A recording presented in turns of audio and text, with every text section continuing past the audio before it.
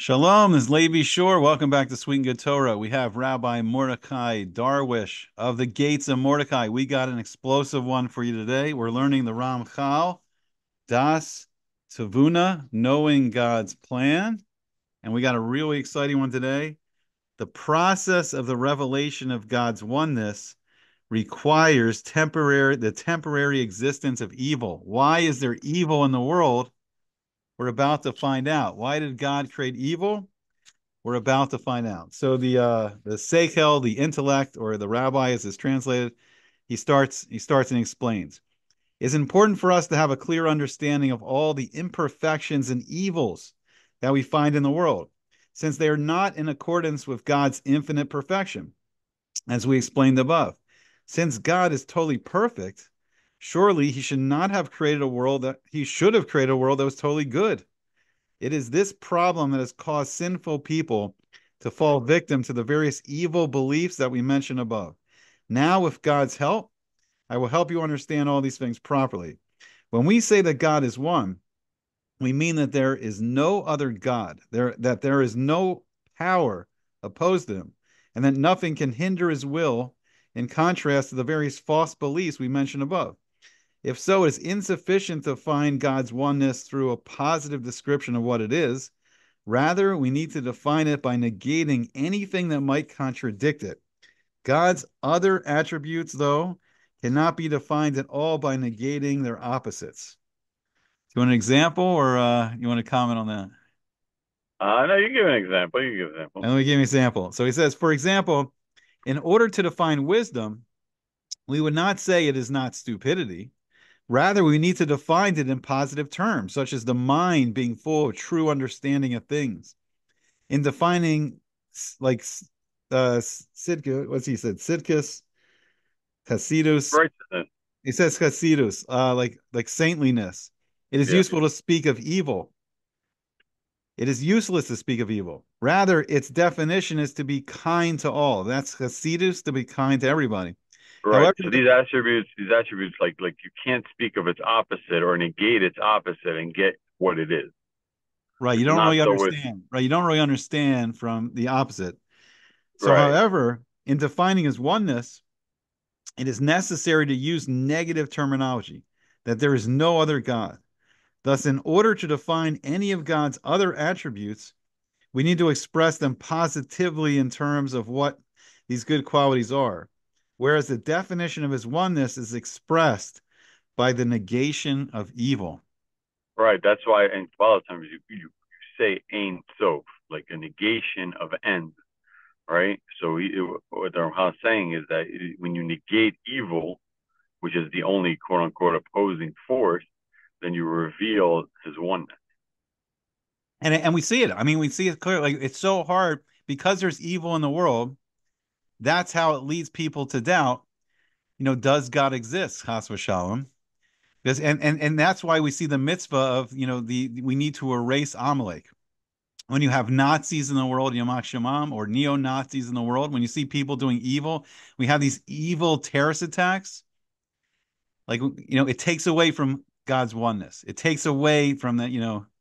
Yeah it's not just not just the evil like actual evil but like any anything that uh, you know that could be um, negation of it, like eating non-kosher food, right? That's evil. Now, you may not think it's evil, but it is, right? Speaking uh, slander, right? That's evil. And all uh, the the evil is is unbound by just like tragedies and and massacres, right? It's it's it's, it's a little bit more than that, a little bit more in depth. Oh, right now it can just be like the little evil, just like being speaking badly about someone, right? And that takes right. away, that takes away from this oneness. It takes away from the oneness of Hashem, of God. So from what I've said, you can see that had God wanted to reveal any other attributes of his perfection, there would have been no need to create evil. This is because they are all totally good attributes. It can only be defined by formulating their goodness. Since, however, God wanted to reveal his absolute oneness, which can only be defined by negating evil, it was necessary to create evil and then to show that it has no independent existence or power whatsoever.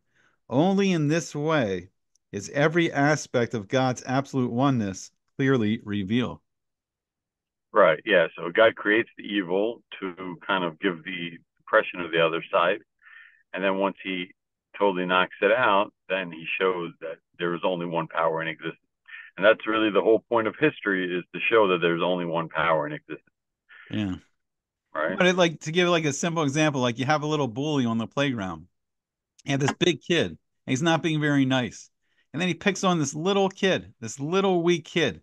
And everyone knows when the bully is like picking on that little weak kid, it's not right. Like this is not right. It's not good. And then, you know, some like let's say some champion comes stands up to the bully, you know, and, and, beats up the bully. And then people can feel that something good just happened, like protecting, you know, this person that needed protection. Well, okay. You can feel it. I mean, you can feel it when when you see good triumph over evil you can feel a change. Like you, you see the world how it's supposed to be. You see tzedek, see justice, you know, real justice, real mishpat, you know. All right, so let's see how we go on. So do not make the mistake of thinking that wisdom can only be understood by first showing what ignorance is. And chasidus, saintliness, can only be understood by showing what cruelty is, based on the premise that something can only be defined through its opposite. You must understand that all the perfect attributes can only be understood through descriptions of their actual perfection, the negation of their opposites, such as ignorance and cruelty, does not help us to define what they are.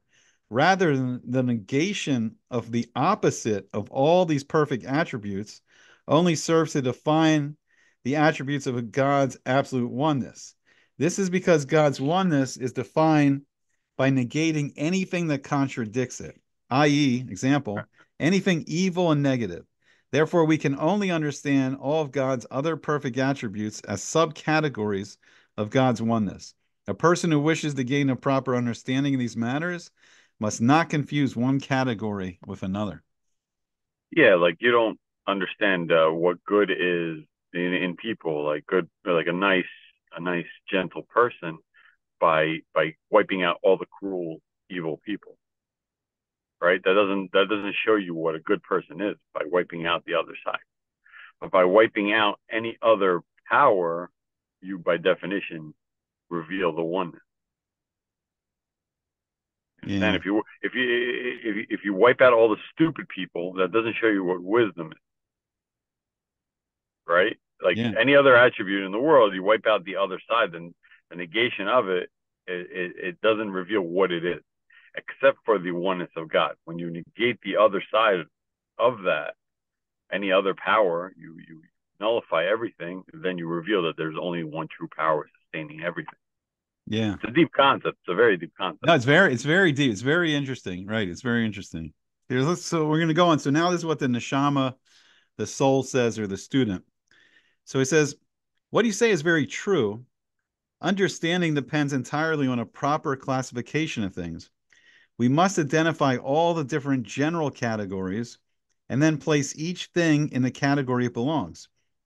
Only in this way can we understand the true nature of each thing and the effects it has. Even though God's ways are totally different from our ways and beyond any such classification, we need to conceptualize things on our limited human level. Yeah, everything is that we're talking about, talking about from our, our perspective, our level right? You can't assume and start talking from his high, lofty level, mm. right? Because he created the whole world for us, for us to realize something. So we're just going to use, you know, human terms and stuff that we can understand.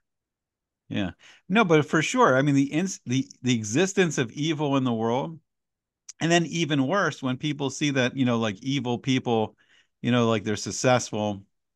It, it, it right. It takes away. It it takes away from like the the truth like Hashem's because, absolute because, unity. Because then you think you could think like you could think like, oh well, if I um, cheat people, then I'll prosper. Yeah, right. And if I beat them up and take their property, then I can win. You know, and and yeah. like you you think you could do evil and and and enjoy yourself, right?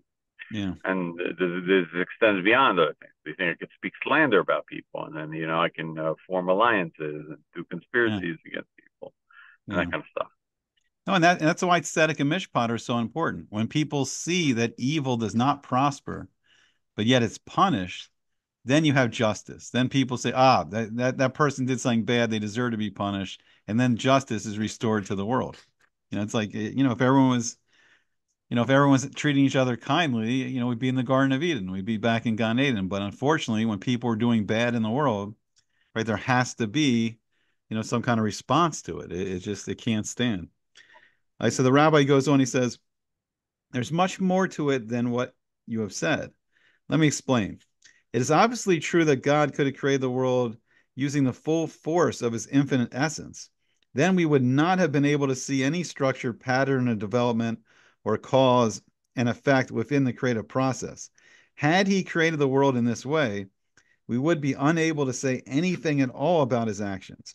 It would be totally impossible for us to understand such a process, since anything done using the full force of his infinite essence is totally beyond the grasp of our limited and finite minds.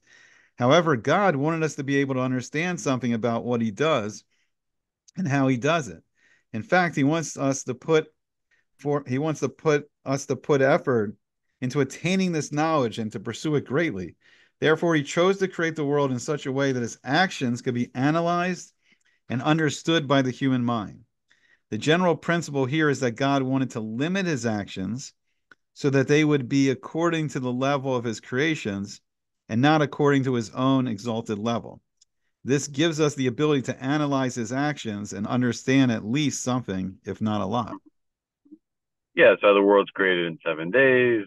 That's why, you know, there's months, there's years, there's time frames, all that stuff, and uh, levels, development. You know, a kid grows up, he's not just born ready, and and the whole world is not just disappears on the scene right? It had it been, it would have been God said, and it was. That's it, and and the end, right? But we, that's not how it works, right? That's why it starts at the beginning, and it's 7 mm-hmm. days of creation. There's Adam and Eve, there's a snake, and it's going on further, further, further, right? Mm-hmm. Otherwise, otherwise, then you, we wouldn't be able to understand stuff. So we need to see steps. We need to see levels. That's the only way humans can can grasp things. Yeah. When they just like show up on the scene, then you can't you can't really grasp well, well, how did this happen because we're limited. Now, I was learning something interesting over Shabbos. I was learning the Arizal, Rabbi Yitzhak Luria, his Sefer Eitz Chaim, the book, uh, The Tree of Life. And he was saying, right, you're saying before, the Ein Sof, right? The Ein Sof is infinite. There's no limit. There, there's no boundaries. There's no nothing. So Hashem created, you know, the 10, he brought everything into existence through the 10 sayings, the Asara Maamaros, and he created the 10 Sephiros. So that's going to be 10 aspects of how Hashem is interacting with us, but they're limited. They're only in a certain way. So, like for instance, like when Hashem acts through chesed, through love and kindness, like he'll bring a gentle spring rain and everything's beautiful and everything's growing, and we see the love and the kindness of how Hashem's interacting with us. Or if Hashem's acting through Gevurah, through like din, judgment, like Hashem can bring a, a, huge hurricane on the world, and we see the damage and destruction. And Hashem's unfortunately is acting in that aspect of judgment. And we can see through these different ways that Hashem's like limiting himself into a finite role, and then we can understand it. Like that's what the Ramchal is saying. We can understand for each one of these actions, you know, like what's ha- what's happening. All right, so we'll go on. So the creation of the world is described in the book of Bereshit of Genesis, proves what I've been saying. There, God tells us that He made the world step by step. I think you've read this before through different divine utterances right through the Esther, the Asara Maamaros, the ten sayings, according to the pattern he wanted. He did not create it in one instant and with one Mamaros, one utterance, although he certainly could have done so had he wanted to. As a result, we can identify the different categories of God's actions upon the world and put each action into its proper category and analyze its details. We are able to classify the reasons behind God's actions, and all the more so what they actually bring about. All this follows a pattern similar to what we find in the human realm. Right. So, you know, like we're not just humans, we have like different aspects of us, right? Like we have our brain, we have our heart, we have our liver, we have bones, we have uh, uh sinews, we have skin, we have flesh, we have nails, we have all, all, all these uh, things that. Here, let me, um, let, me um, pause, let me pause this for one moment. I'll be right back. Hold on. And we're back. right, let, let me read the next part. Okay, so let us return to our topic, we've already explained that God's oneness is defined by negating anything that contradicts it. For example, anything evil and negative. Therefore, we have one common principle when we consider any of God's infinite attributes of perfection. Concerning each of these infinite attributes, we must always understand that only He has this perfect attribute and that there's no force that can oppose or hinder this attribute. All of this part of the definition of God's oneness, as I explained. So, two points follow from what we have said. A, as we explained above, in order to reveal any of God's attributes apart from his oneness, there would have been absolutely no need to create anything that was imperfect and evil. Only in order to reveal his perfect oneness and to clarify all its details clearly and properly did this become necessary. B, all the other attributes of God's perfection, his wisdom, his compassion, etc., are subcategories of the attribute of his perfect oneness. This attribute oversees all the other attributes, as we proved above. In every aspect of his infinite perfection, he is completely and utterly one. Only he has this perfection, and there's nothing that can oppose or hinder his perfection, as we explained. This reality is rooted in the fact that God must absolutely exist, i.e., example, it's impossible that he should not exist. That fact determines what we are able to express about his perfection and what we are unable to express. We can only express that his is the only imperative existence. Only he must absolutely exist and nothing else. This is clear to all those who have true emunah, true faith. You will soon, you will see soon how much we will gain from what I've explained to you. Yeah, everything else in existence needs an energy source, right? Our cars need gas, our homes need electricity, um, you know, our bodies need food, water, right? Everything we need oxygen, everything in the world is dependent on something else in the world. Yeah. Right. But only God's existence is imperative. It's not is not reliant on anything else. He is the energy source of everything. This is a great concept that everybody has to realize. I mean, all humanity will realize it in the end, but that's that's the central theme of all history is realizing that there's only one true central power source of all of existence. There are no other gods. There are no split powers. There are no, uh, you know, anything else. Angels, higher forces, Satan himself, right? All these things, they are nothing in comparison to God. They're only there for illusion so we can understand the one true power source. Yeah. No, it's right. It's like since Hashem is the one source of everything, he's keeping the existence. He's keeping all the universe in existence. So if Hashem weren't wasn't there, there would be no universe. But but but a person, no matter how great, even like the greatest people in all of history, when they're niftar, when they die, the world goes on. The world can go on without even the greatest of of, of human beings, but the, the, universe can't exist without it, you know, without God. Without God, there's no there's no universe. You know, it's, it's only Him keeping it in existence every every moment. So then we'll go on. So it says now you can understand what I was really telling you before. The fundamental difference between the attribute of God's oneness and all his other perfect attributes, only the revelation of his oneness requires the existence of imperfection and evil, as well as perfection and good. This in turn creates the arena for serving God and receiving reward. Had God wanted to reveal any other attributes of his perfection, he would have created anything in a state of total perfection according to whatever particular aspects of perfection he desired to reveal. There would have been absolutely no need to create any element of imperfection whatsoever. This is because the revelation of any of God's attributes, apart from his oneness, in no way requires the existence of imperfection. As we have explained, without a world of imperfection, there would be no arena for man's task of serving God and no possibility for him to receive reward. Only when he chose to reveal the element of his perfect oneness did this require the existence of an imperfect world. This is because his oneness can only be revealed through the negation of imperfection. Okay, this is this is a very deep concept, and if people can grasp it, they can understand the whole purpose yeah. of being religious, quote unquote, yeah. is that it's not just oh do X Y Z and you'll get rewarded, and if you don't do X Y Z, you'll get punished right? It's by doing XYZ, you are negating evil and um, you know uh, promoting oneness in the world that through your actions through your thoughts through your words and all these things and and and you're actually having an effect in reality in a human consciousness in the world of the revelation of the oneness like you're what what we were commanded has a, a, a direct link into this process. And and so we're not just doing any arbitrary things and getting rewarded for them. It's not like a person goes out and gets money for working and it doesn't matter what they, what they do whether they're a teacher a lawyer a doctor football player right? It's the same money right?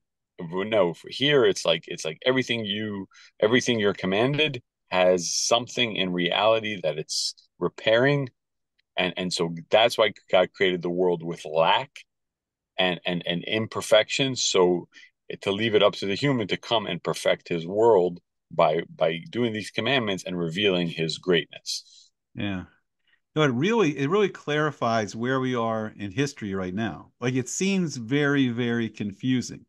You know, we have this this building momentum to this quote unquote this like new world order where they want this like world government of like atheism basically. Like they want to deny God's existence.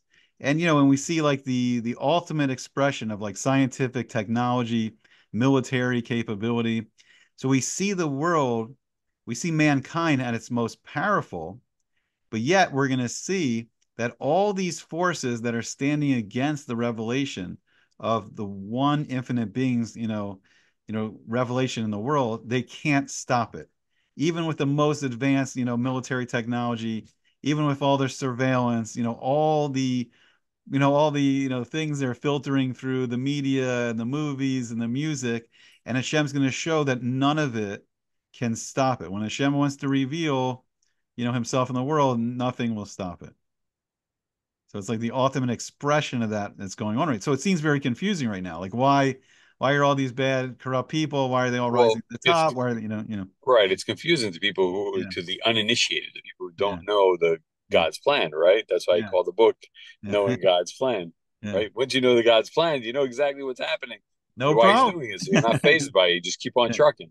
Yeah. Like, oh, I got to keep, I got to keep doing the commandments. Got to keep doing the commandments. Right. This is all part of the plan. Right. So what? Right. So what we do is we do our job. We're learning Torah. We're doing the mitzvos, and we're doing gemilas chasadim. We're doing acts of kindness. Right. Every time we're nice to another person, every time we do a mitzvah in the world, you know, every time we're learning Torah, where the, all of them are like a light. It's like a. It's called like you know ner mitzvah Torah or. Each mitzvah is a little candle, a little light and the Torah itself is a great light.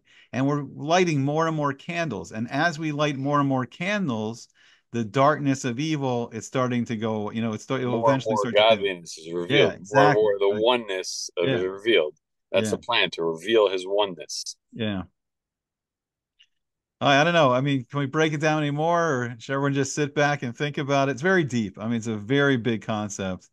But when you understand people it, people don't understand this, then there's no point in, you know, going further because you'll you'll never understand what Judaism's trying to do because you're always like you always have these these people who are always you know they scrutinize the commandments or they scrutinize God's actions or they scrutinize people. They scrutinize, they're always scrutinizing, right? Because they're, they're viewing it without a plan in mind, right? They don't see the whole blueprint of creation and and understand what God is trying to do, trying to manifest. And so so like all their scrutiny is is really futile. It's stupid it's it's it's without knowledge. They think they're they're quick, right? They think they're they picked up on a mistake. They picked up on some kind of lack, and really like it, it, because they don't know the grand theme and the grand plan, like they make stupid statements.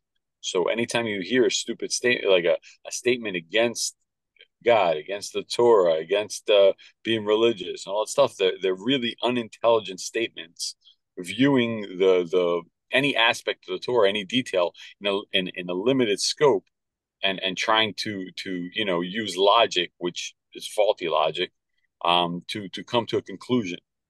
And so, like anybody who poo poos it is is is in the wrong.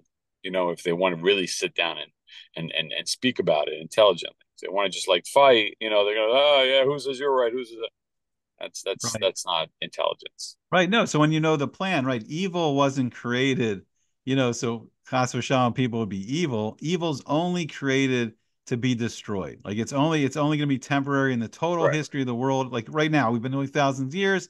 It seems like right evil's like you know in a big uptick right now, but it's at its fun. It's we're at the end. It's really about to be completely defeated forever. We're getting closer and closer to the evil's end, and it's really showing us it's just a it's the sparring partner. It's to motivate us. It's to get us to fight harder and better to ultimately defeat it. The, the, the purpose of evil is not that evil should rule, it's only to be defeated, and it's not going to be here forever. You know? Well, it's to be to be uh, defeated by keeping the commandments and yeah. revealing God's oneness, and that's how that's how it's defeated.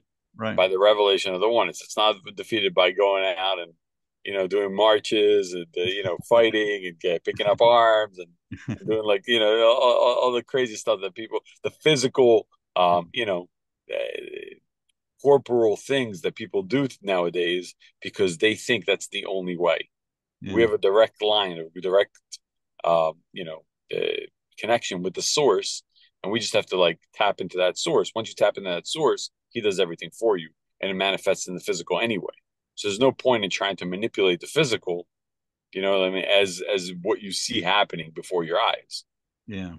No, and it's right. And, and defeating evil, it's simpler in some ways than people think. It's as simple as like just doing the mitzvah of saying the Shema, like in the morning, in the afternoon, like lighting the Shabbos candles, you know, having, you know, the the, the kos of wine, you know, doing the cup of wine for Kiddush on Shabbos. Anything you do, right, so eh, you're saying blessing. Just, just being anything. nice, just being nice to other people. And then a huge thing, tzedakah, giving charity to the poor, people that need help, giving someone help all these mitzvahs they they like make the world a brighter place and we get closer and closer to right the revelation of Hashem's oneness and the defeating of evil. Uh, you want to wrap it up? You got any? Uh... That's it. The greatest the greatest thing you could do is spread the knowledge, right? Because as GI Joe said, knowing is half the battle. and knowing is half the battle. Subscribe, like, and share, baby. That's the. Right, help us out. Get the message out there Get because the guess out. what? When you know God's plan, life gets a lot easier. When you know the rule book, when you know the blueprint, everything gets a lot easier. Exactly. Right, so we, we hope to see you all back again soon on Sweet and Good Torah and the Gates of Mordecai. All the best.